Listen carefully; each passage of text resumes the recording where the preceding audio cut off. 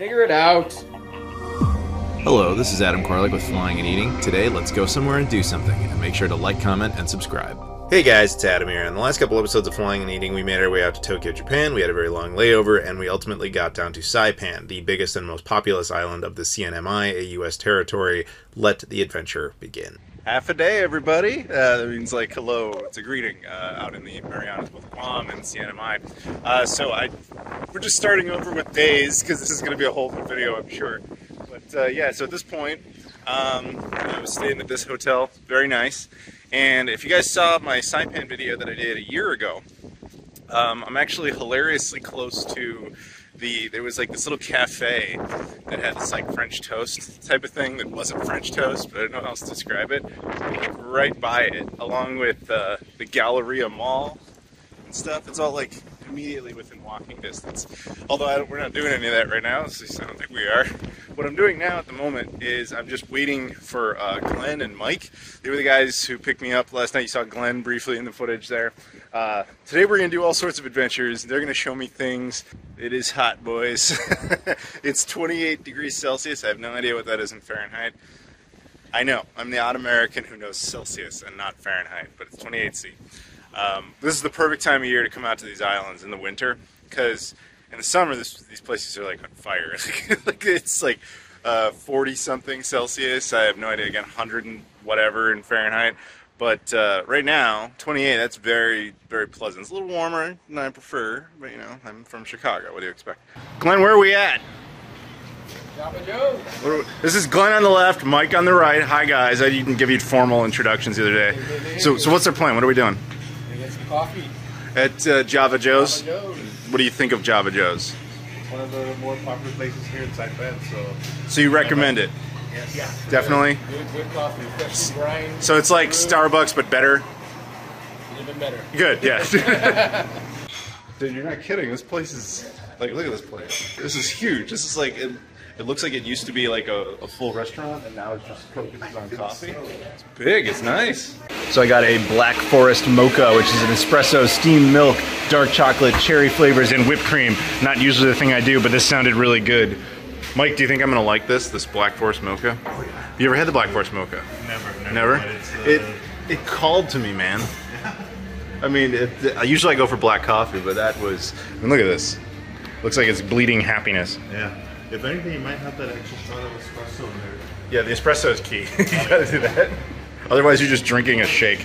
Okay, so we've sat down. I'm enjoying my chocolate cherry coffee. I, you guys like your coffees? You good? All right.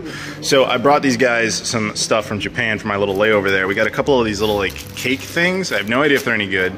And then they both get various candies, these random Hershey things I found that I've never seen before. Some Kit Kats. You each get one. What do you guys want to do? I'm gonna go uh, see what's up with this chocolate uh, croissant. Look at this. So it's chocolate mousse, chocolate. Is that what it is? Is this chocolate mousse? Uh-huh. Okay, okay, okay. And then chocolate pudding. On a pastry scale, maybe something from a vending machine. right? Yeah, vending machine scale. Let's be uh-huh. real here. I'm gonna get that um, out. 9.5. That's pretty. 9.5 on a vending machine scale. Oh, it's like the. Little cake thing. Ah. Mm-hmm. Smells like um, rice. Almost like our local delicacy, uh, potu. It's like a sponge cake or a pound cake. Maybe. One of those things. And it's really mild, not too sweet, really soft, and uh, what's that action word there? Sponge Moist. cake is right. Sponge cake? Sponge cake consistency and taste.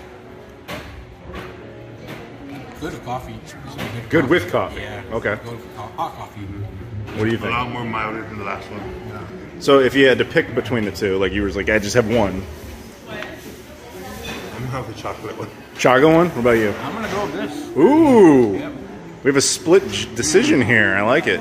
Local cuisine, KFC and Taco Bell. Wow. So we're, we're cruising around. We stopped for a second and I noticed a radio station. What was the name of that radio station? KKMP? KK, uh, KCNMI or something? Oh yeah, that designated. Yeah. KCMNI. Okay, so um, the thing is, I noticed that and I thought that's interesting that you guys observe the K thing. In the U.S., there's a law that says if you are east of the Mississippi River, your radio station has to start with a W.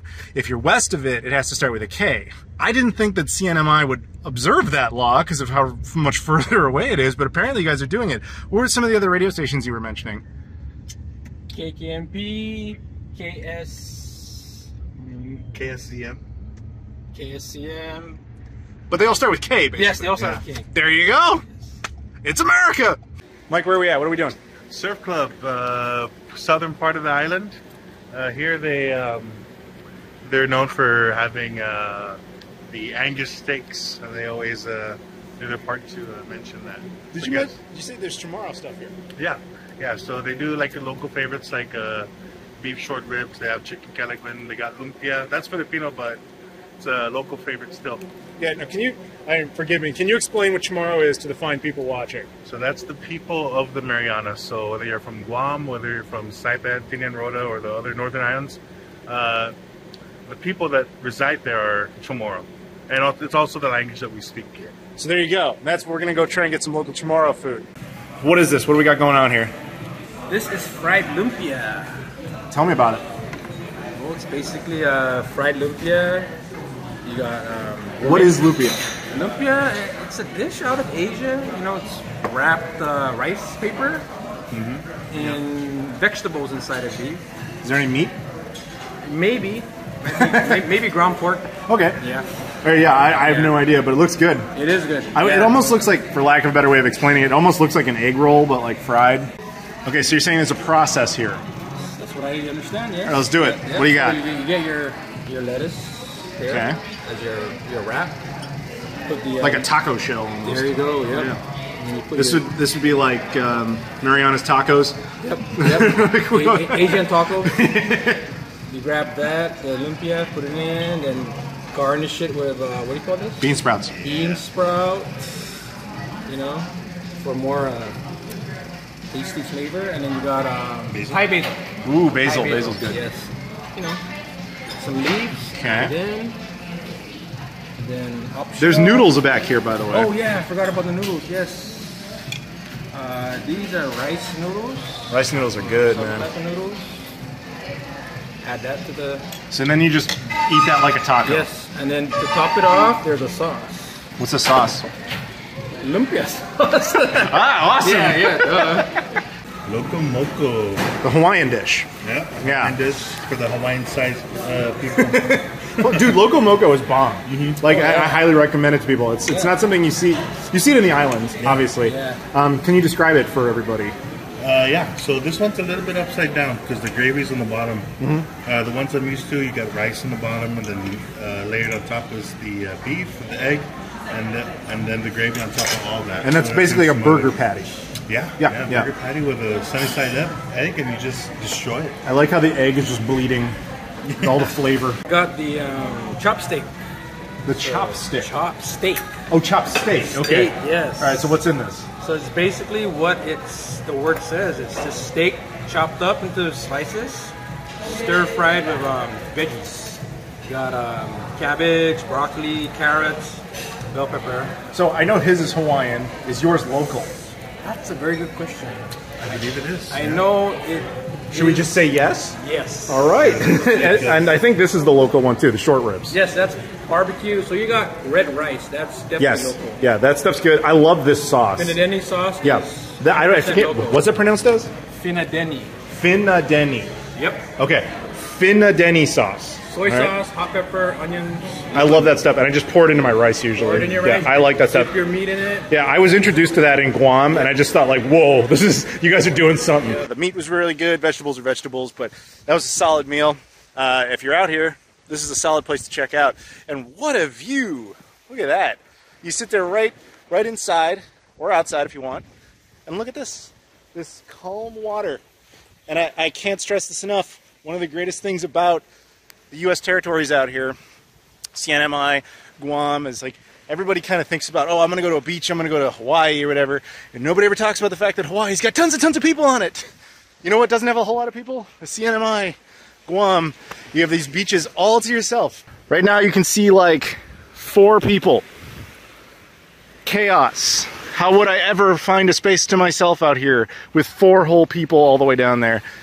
CNMI, man, like this is perfect beach weather, water, unbelievable. Highly recommended. I, again, I say this all the time, but it, the U.S. territories are interesting. I've been to most of them. The only one I haven't been to is American Samoa. But it's just a reminder to all my fellow Americans your country is big, it's bigger than you think, and it has access to every type of topography, every type of geography, every type of culture. This is all part of your country. You can come here at any time, no passport required, though to be fair, it does make it a little easier. So a little interesting update to the previous video. If you guys saw my Saipan video I did a year ago, uh, I was talking about these cargo ships, and I had mentioned how uh, Guam is actually not allowed to import stuff, but the CNMI is. So these are cargo ships that bring stuff in. Turns out that while that is true, these are not actually those cargo ships. The ones you're seeing are actually like military stuff, U.S. military stuff, but they're not. There's no permanent military fixtures in the CNMI. There's a couple like small little things, but nothing super significant. What these are is basically like portable bases that aren't are like quasi run by the U.S. Navy. Uh, just in case anything goes down, this is a shield of defense. Brought the Sega Pluto back, by the way. He enjoys his vacation. He was demanding his more, more time, so here he is lounging in the sun and enjoying himself. As you said, most well-traveled console in the entire world. So right out there, I hope you guys can see it out there. There's another island. That's Tinian. We may or may not be going there. Sounds like we may or may not be going there. We're gonna go there. We're gonna go there. Saipan Vegas! Yeah. All in, baby. and then McDonald's. Oh, look! Look, it's the only McDonald's, right? It's the only McDonald's. I'm sorry, I was wrong. I didn't know. So we're back at uh, Banzai Cliff. I showed you guys this last time.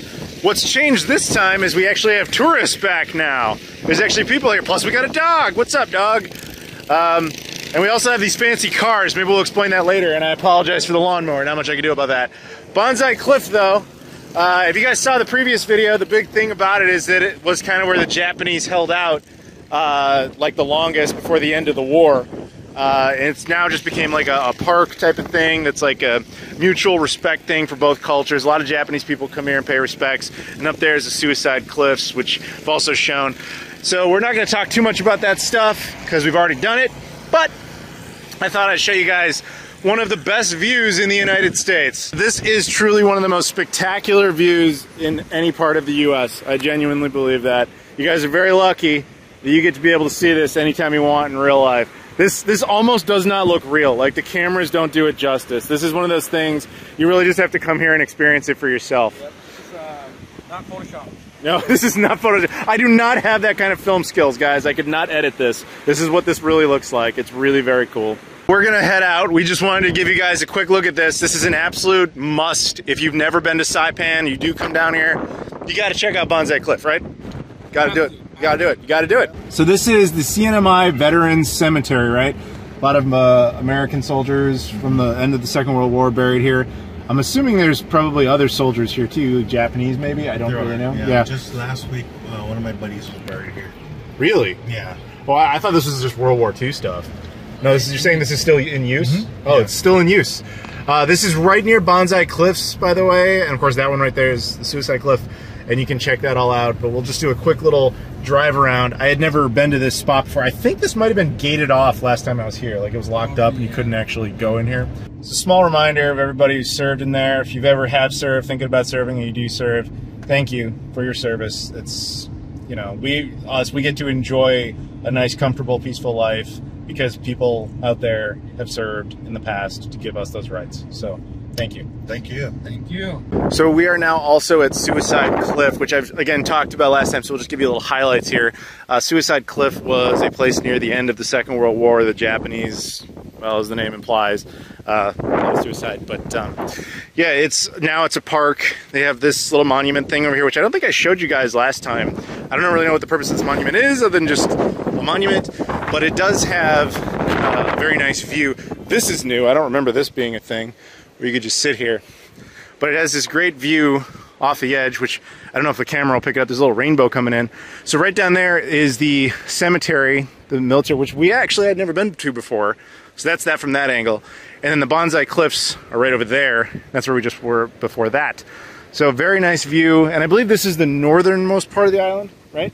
Pretty much, yeah. Yeah, this is pretty much where it is. So, yeah, if you're ever out in Saipan, absolute must to come out to Banzai Cliffs over there as well as this, and you can also check out the park over there. But yeah, beautiful views. So the thing in the middle, right? Yep. And what's it called? Mount Tapochau.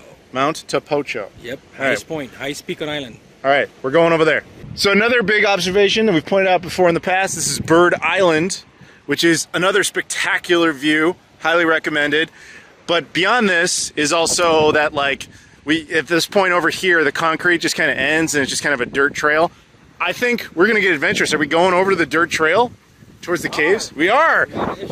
Yes, this is gonna be a new thing. We haven't actually done this before, but we had to acknowledge Bird Island because you know it's it's Bird Island. Look at that! Just look at that! So we've now entered one of the most remote areas of Saipan, and Mike here had this really good idea called not gassing up the car before doing this. So, uh, you, you, how, how you feeling? What do you think? Uh, I feel, um, according to Mike, we're good. So We're good. You know, they just discovered uh, fusion energy, and I think, Really? Does your car run off of it? Does Saipan have a fusion charging station Yeah. up in the most remote part? Yeah. Part of me thinks that probably isn't true. Yeah. Let's find out. Unfortunately, we might have to. Elon Musk eat my heart out. There's a big cave back there. Unfortunately, it's closed today. Maybe we'll be able to come back. Depends on time permitting. But this is what's the name of this cave? What's this area? Caravera. Carabera. I'm sorry about my pronunciation, but you can check that out. It's really neat. I have been in there before. I just never had a chance to show you guys, but it's a thing. On this road, you can see there's a whole bunch of rocks and stuff. This actually didn't used to exist only like a few years ago. I remember my buddy Matt and I drove on this, and we just it was much thinner and it was all mud. I can't even believe we got out of that situation. But like here, the rocks substantially better, guys. Like huge improvement. We're gonna die. all of a sudden just concrete comes back. I remember this when my buddy Matt and I were driving. I were like, "Oh, look, we're gonna live!" Like we we, we like legit thought like as the phones weren't working, tracking wasn't working. We had no idea where we were, and then we saw what is clearly like a drug lord's house. We're like, "Hmm, we need to get out of here." no, but in all reality, it's actually super nice out here. It's it's a, it's a much better drive now, guys. Like, congrats! That is a much more leisurely experience, especially in this car. Except for except for our range is dangerous. What are you doing? So this is the old radar station, also known as the um, uh, the female dog station. Right? That's what this is. What's the deal with this place? Do you know? what I've heard, it was used to track satellites in its days. But a lot of it was highly classified. Like, are we talking like World War II? Like, what era is this? Uh, no, it's 80s, 90s. This is 80s, 90s. Yes. I would have thought maybe like 60s, 70s, but Maybe, 80s, 90s. but like, yeah, yeah, but not. Yeah, World I know it's not World War II. We didn't have satellites, but yeah, that's it's still pretty cool. It's just this. I'm assuming this area is pretty abandoned. Like, It's totally abandoned. yeah. Although this looks more modern, whatever this is. Yeah, that's towers. Oh, cell phone tower. Okay, that makes sense. That explains why my phone's working over here. Got a neat view and all sorts of stuff. And uh, some guy had a lot of fun, as you can see right there. Uh, cargo containers. Yeah, it's it's just kind of a, as he said, just an abandoned area, but like it's got neat views outward, and I, I like that. I just think it's really neat looking. Very cool. Oh, look, Star Trek, Starfleet logo, right on. Boom. Very nice. You automatically get a bonus point. For the record, this is the range we have left. But look where we are. Yeah, you want to walk through that? Because I don't. So, what's the name of this area that we're in? So here is As Matuis. Ask my twist. is that what it is? Ask Did I get my it twist. Ask my twist. What are you saying? As Matuis. Ask my twist. No, okay, no. As Matuis. Ask my twist. Yeah. As Matuis. Ask my twist. So we're currently at the Mobil station, which I want to point out once again. This is one of the only parts of the U.S. where they have attendees standing by that have to pump your gas, like Oregon, New Jersey. Uh, CNMI is the other one. Can't pump it yourself. And I, that's funny. Actually, CNN had an article about this one day, where they were talking about how Oregon and New Jersey are the only two parts of America. I actually corrected. I tweeted at the guy who wrote the article. I was like, CNMI actually, and uh, he just liked it. He could have responded, but he didn't. Could have corrected the article, but he didn't. He just liked it. So I got a bottle of Coca-Cola here. Check this out. You can actually see that it's distributed from Guam, but even more interestingly, it's actually a product of China. This is actually built by uh, this one was actually these are bottled in China, I guess, and then distributed by Guam and then end up in the Marianas, which actually explains why they are carbonated water and sugar. These are not high fructose corn syrup ones. So technically, This is a Chinese Coca Cola. Okay, I'm no expert on Mountain Dew, but this one's the full length version instead of MTN because it's international, uh, at least this particular one, because this one actually comes from Malaysia. I'm unfamiliar with a Blue Shock variant of Mountain Dew, but there it is. So this is interesting. When you look at the Pepsis, this one is uh, made in North America, so it's just high fructose corn syrup. This one is real sugar, but this one's actually specifically made in Guam. Look at that. So I've never seen this one before. This is called Pepsi Black, and apparently this comes from Hong Kong. Look at that right there. That's cool. Kind of want to get this almost, but not really.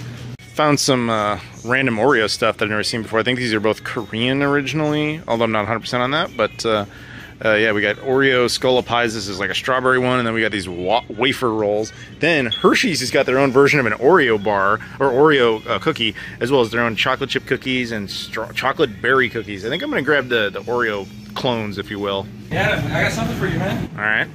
Oh, you. That's disgusting. Get that out of here. What's wrong with you? No. No. Oh, wait, uh, we're, we're, we're walking away now. Just a reminder, Mariana's Coffee, that's local to homie over here. Yeah. You guys are one of the only parts of the entire U.S. that can grow their own coffee. A variation of Red Bull that comes from Thailand. That's pretty cool. Actually, looks like there's a couple different versions of Red Bull from there. Look at that. That's pretty neat. So I'm going to go ahead and get a couple of coffees. These are kind of interesting, actually, because they're made in Taiwan, but they're actually distributed specifically for the CNMI. It actually mentions Saipan right there. Uh, so no idea if it's any good, but I'm sure it'll be fine. But uh, yeah, we got a mocha one, and then we've got a cafe one. That is a really nice house. I just want to point that out. I thought I was in America. You're telling me I can't take a dump here on the ground? Is that what you're telling me? Yes. Wow. This is this is just this is oppression. That's what that is. Seriously, why did you need a warning sign? Who's pooping on the ground? What are you doing? Who are these? Who's coming here and pooping? So we are now at the top of Saipan. He's cheating. He's sitting on this thing. I'm on a natural formation. I am currently the highest person up in all of Saipan. Unless anybody is on like this tower or whatever. But that doesn't count though. Something. It doesn't count because I don't want it to count. but from up here, you get a great view of everything. We walked all the way up here. This you drive up, there's like a parking lot down there, and then you follow these stairs and you can just kind of hang around and look at a whole bunch of stuff. But it's a little foggy out right now, a little misty. But uh this is truly a great, spectacular view of the entire island. Like you get one tip of it from all the way down there, which the camera doesn't totally do justice to. But then you have the other side all there. Like this mountain is relatively centrally located that you can see like almost the entire place, which is really very cool. When you get up here, there's also a bunch of uh, World War II memorial things that just kind of explain specifics about the fighting history of Saipan, of Saipan and the war is that, uh, according to that anyway, after 25 days from the invasion, the United States government considered the island secure, but technically uh, there were incursions in the jungle for another 17 months of fighting. More information about that here. Actually, if it wasn't clear, um, the big thing that Saipan's known for uh, globally is that World War II, of course, had very significant battles here. Uh, the Japanese once owned these islands.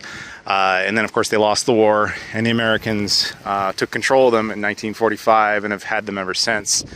Uh, and now they're U.S. territories. But uh, for a time, they were Japanese. Prior to being Japanese, they were German. They had been invaded by the Japanese. The Germans just kind of gave it up. I think the Germans only had it for like 12, 13 years, something like that.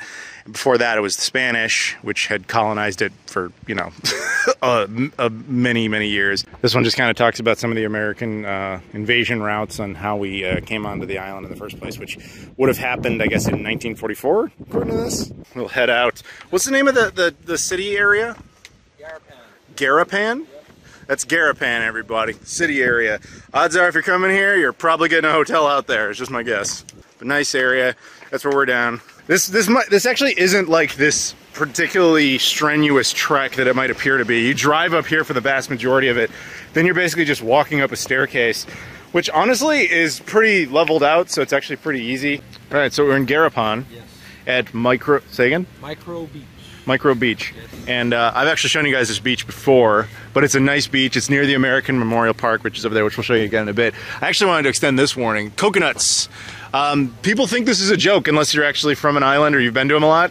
People, coconuts are super dangerous. Like, I know it doesn't seem like, like maybe it's like a cartoon, like it falls, you get hit, owie, and you move on. People die from those things falling and hitting you. So It, it's no joke. If you see coconut trees, just stay away. Like you could actually, if that hits you, you will not live anymore. So stay away. So that's a general rule for all coconut trees. So we're gonna go over here, go around there, and show you guys some water. Here's a big warning about preserving sea turtles because I guess they do come out here. So don't pollute, guys. No plastic straws, too. No polluting. I'm, I'm, I'm watching you, especially this one. Yeah, see, look at this passive, nice beach. And you see a couple people in there, a couple people over there. But this is seems to be as busy as it ever really gets. That's, I'm telling everybody, if you ever you just want a nice beach, Marianas, the CNMI, Guam. This is this is super nice, and this is, by the way, like the busy area. So we're now back at a familiar site. If you guys saw the first video, this is American Memorial Park. So we won't spend too much time here because I did a whole tour of the place. But basically, this is just a you know a national park. Inside, there's a gift shop, and there's a whole bunch of history of Saipan, including mostly the World War II. Uh, liberation effort. There's a big movie in there you can watch and stuff like that. And uh, of course, we got our flags. And I've pointed this out in the past. There's it's really cool. It's a free museum. You can walk through, see all the World War II stuff. And then they have this big thing about like the American Quarter, which is based over there, for this territory, CNMI. So this is kind of cool. So in the last year, obviously the whole country has kind of opened up a lot more. And now this is more like what it was like the first time I was here, with people wandering around and just kind of living life like last year when I filmed that that first video on this place, it was really just a unique time because like we were still in the pandemic. Tourists mostly weren't allowed in unless they were from the mainland, which was very rare. It was really just like me.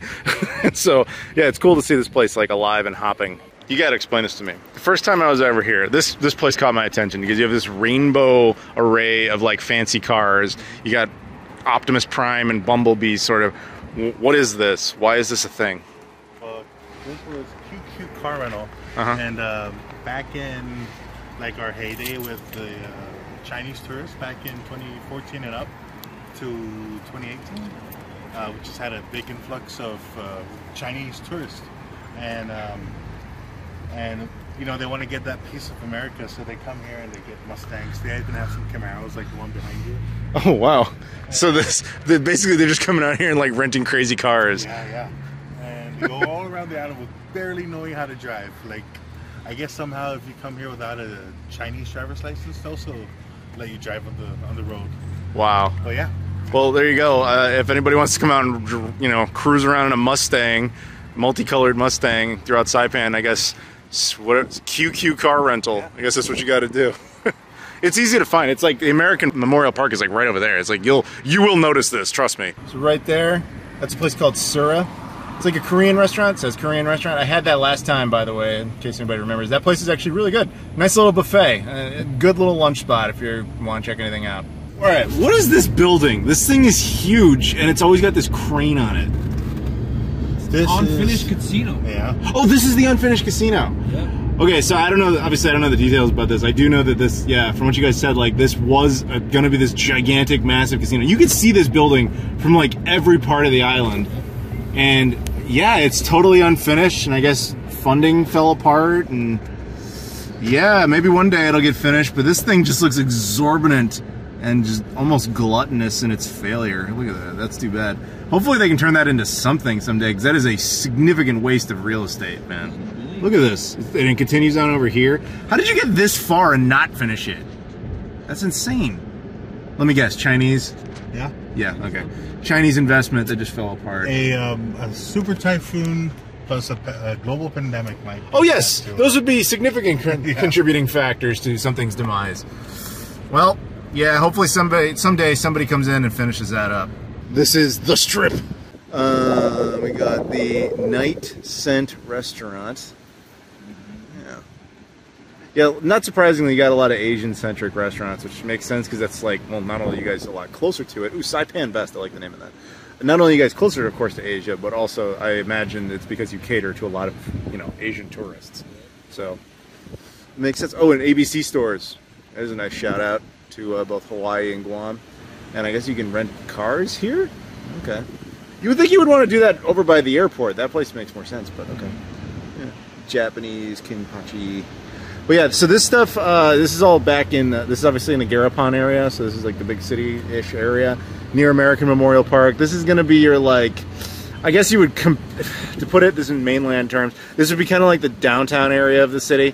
And so you would, you know, uh, a lot of the nightlife and a lot of the restaurants, it's all going to be in kind of this particular area, not so much the nature stuff. So if you guys saw the previous Saipan video, I made a reference to the fact that there's actually tanks, like Japanese World War II and American World War II tanks, like out here. That right there is the closest one we can actually get to.